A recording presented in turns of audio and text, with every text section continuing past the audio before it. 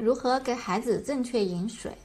我们知道水是孩子必不可少的，嗯，然后我们孩子的话，一般来说新陈代谢比较快，所以说输需水量也比较大。另外，孩子的话运动量比较大之后的话，他的不显性失水也会增加，所以这个时候的话，应该嗯及时正确的给孩子饮水。一般来讲的话，我们孩子的话不要等到他嗯口渴了才想起给他喝水，正常情况下应该按时。嗯，比如说一般来说的话，就说一日三餐之前，哈一嗯一个小时或者半个小时，应该给孩子适量的饮水。一般来说的话，呃，对于比如说一到三岁的孩子的话，一次的喝水量应该是在一百到一百五十毫升每次左右。好，当然对于年龄比较小的孩子的话，可能是可以少量的一个饮水。啊，对于一个就是特别是六个月以下的孩子，如果是纯母乳喂养的话，是不需要额外补水的。好，另外一个就是喝水的，呃，每次的一个量的话，刚刚讲过了，